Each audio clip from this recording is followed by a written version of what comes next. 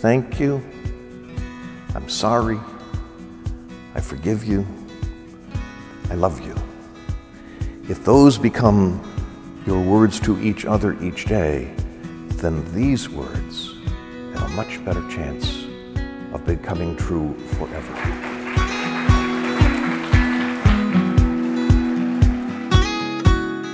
During their courtship, they shared some marathon dates that kept Tim tugging on Katie's heart. While both had full lives prior to meeting, together they support each other in being their best selves.